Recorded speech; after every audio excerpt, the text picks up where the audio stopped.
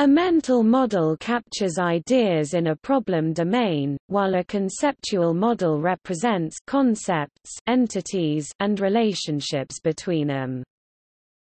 A conceptual model in the field of computer science is a special case of a general conceptual model. To distinguish from other types of models, it is also known as a domain model. Conceptual modeling should not be confused with other modeling disciplines such as data modeling, logical modeling and physical modeling. The conceptual model is explicitly chosen to be independent of design or implementation concerns, for example, concurrency or data storage. The aim of a conceptual model is to express the meaning of terms and concepts used by domain experts to discuss the problem, and to find the correct relationships between different concepts. The conceptual model attempts to clarify the meaning of various, usually ambiguous terms, and ensure that problems with different interpretations of the terms and concepts cannot occur. Such differing interpretations could easily cause confusion amongst stakeholders, especially those responsible for designing and implementing a solution, where the conceptual model provides a key artifact of business understanding and clarity. Once the domain concepts have been modeled, the model becomes a stable basis for subsequent development of applications in the domain.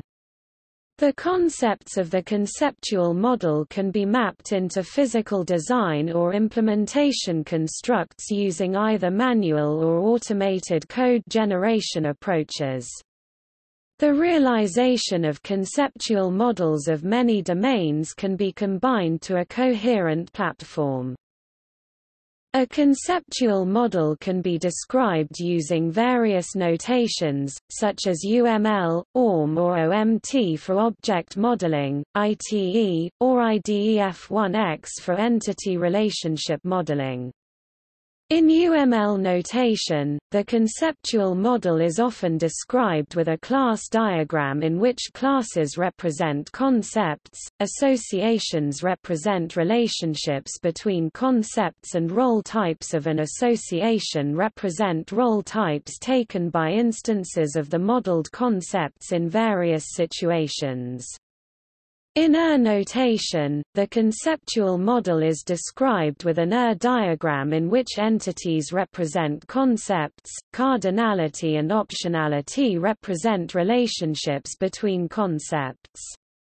Regardless of the notation used, it is important not to compromise the richness and clarity of the business meaning depicted in the conceptual model by expressing it directly in a form influenced by design or implementation concerns. This is often used for defining different processes in a particular company or institute.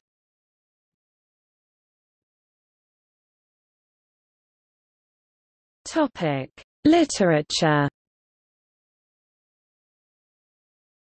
Halpin T., Morgan T., Information Modeling and Relational Databases, Morgan Kaufmann, 2008.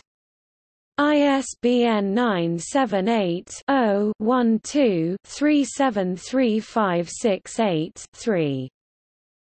Fowler, Martin, Analysis Patterns, Reusable Object Models, Addison Wesley Longman, 1997. ISBN 0-201-89542-0. Stewart Robinson, Roger Brooks, Kathy Kotiadis, and Durk Jouke van der Zee eds. Conceptual Modeling for Discrete Event Simulation, 2010. ISBN 978-1-4398-1037-8 David W. Embley, Bernard Thalheim eds., Handbook of Conceptual Modeling, 2011.